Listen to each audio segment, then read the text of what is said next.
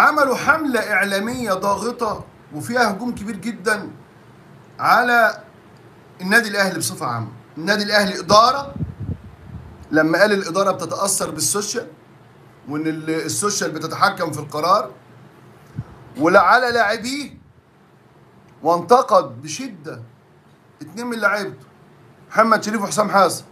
قال الجمهور بيحبهم لما يلعبوا وما يسجلوش الجمهور ما يهاجمهمش. طب ما محمد شريف ده اللي مكسبك بطولة أفريقيا السنة اللي فاتت. محمد شريف ده اللي سجل لك في أول مباراة في بطل الكونغو السنة اللي فاتت. وفي الترجي رايح جاي. وفي آه، كايزر تشيفز أول جول. اللي انت موتته خالص. اللي انت أفقدته الثقة في نفسه. وهو قفشه كان الأول قفشة شريك نجاح. دلوقتي بقى قفشة. ومحمد شريف انت أفقدتهم الثقة في انفسهم فالنهاردة طالع يهاجمهم ويهاجم حسام حسن. كلام عكس اللي بيقول حسام حسن أصلا ما خدش فرصة ما لعبش. قال لك لما بي ما بيسجلوش الجمهور ما بيهاجمهمش. لكن في لعيبة تانية تفهم إيه من كلامه؟ تفهم من كلامه إن الدنيا موجهة وإن في ال social media مع ناس والجمهور مع ناس والحكايه مع ناس ومراته طلعت طالعه تهاجم الجمهور. كلام يعني غريب جدا جدا جدا جدا يعني. يعني مراته مثلا مراته بتقول لك إيه؟ بتقول لك موسيماني يتعرض لانتقادات لاذعه منذ وصوله إلى القاهرة. رغم النجاحات التي حققها مع الأهلي. هذا الأمر محبط للغاية. عياط يا موير عياط عياط محبط للغاية. وهناك بعض الجماهير التي تنتقده وتلمح دائما لاقتراب رحيله عن الأهلي بعد كل مباراة. أسأل سؤال بس. هو في حد بيتحكم في الجمهور؟ يعني في حد في الدنيا يتحكم في الجمهور وفقا لأدائك؟ وفقا لأدائك؟ وفقا لشغلك؟ وفقا لنتائجك؟ ساعات يشيلوك فوق السماء ويحطوك على راسه. زي ماتش الإسماعيلي وبيراميدز والزمالك وكده. وساعات الناس تهاجمك لما تأدي أداء سيء وده أمر طبيعي. لما تأدي أداء سيء زي البنك الأهلي زي سيراميكا زي المصري زي الاتحاد زي كده. بيهاجموك وده الجمهور. ما شفتش حد في الدنيا عاوزانا نمسك بق الجمهور. يعني عاوزانا نمسك بق الجمهور. عاوزانا نتحكم في مزاج الجمهور. يبقى الماتش زي الزفت ونقول الله ده الماتش حلو.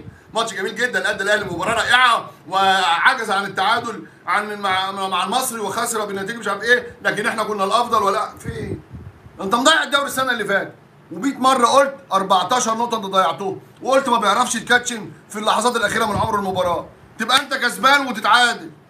تبقى متعادل وتخسر.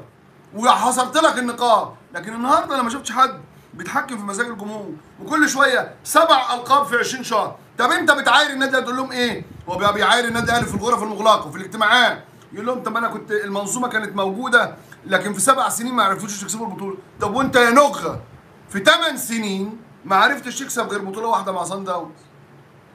يعني في ثمان سنين ما عرفتش تكسب غير بطولة واحدة. يبقى أنت بتتكلم في إيه؟ يبقى أنت بتتكلم في إيه؟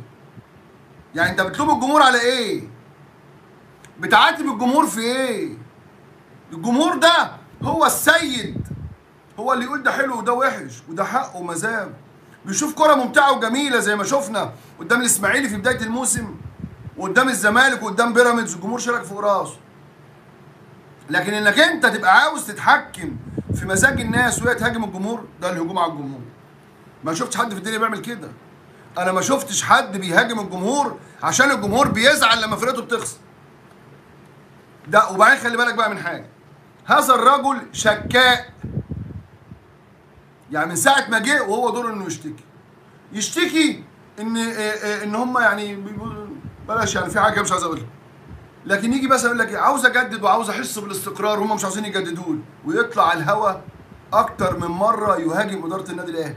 رغم إن عقده كان باقي فيه 8 اشهر مش كان بيقول الكلام ده في شهر آه، آه، يناير اللي فات قبل السفر مش عاوز يقول. ويقول لك إيه يعني عاوز يسافر كأس العالم وأنا مستريح ومختلفين وأمير توفيق يتهاجم مدير التعاقدات في الأهلي وكأن أمير توفيق ده ماشي بدماغه مش بتعليمات مجلس إدارة. فبالتالي فبالتالي هو شكاء بطبعه.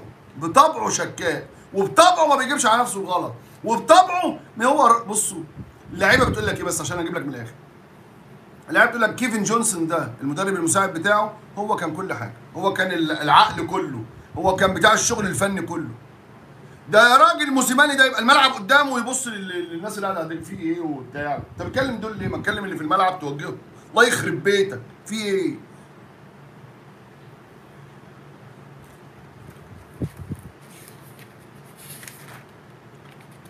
مهم. عشان بس يعني الواحد يتنه ماسك اعصابه. موسيماني يعني إيه طبعه شكاء طبعه بكاء طبعه يحب يحط نفسه في مكانة كبيرة أكبر. يعني النهارده بيقول لك إيه؟ بيقارن نفسه بجوارديولا ويورجن كلوب.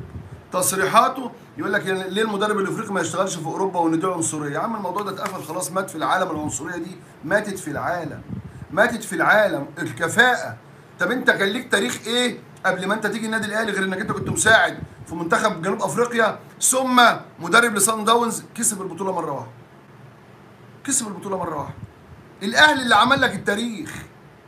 والأهلي هو اللي بيعمل تاريخ الناس اللي عنده مانويل جوزيه العظيم ده. الأهلي اللي عمل تاريخه. ومش بدل المرة ثلاثة ويرجع. يرجع ليه؟ لأنه ما بيغلطش. ما بيتجاوزش. بينزل على الأرض ويتعامل بمنطق وعقلانية. بيتفق ويختلف مع الناس اللي كانوا بيديروا. لكن مش بيجي هو يحط نفسه في برج عالي كده. أنا طاووس ماشي. ولا يراعي مشاعر الناس. ولا يراعي مشاعر الناس. فهو بصفة عامة شكاك طيب عاوز أروح معاك؟ لحظة.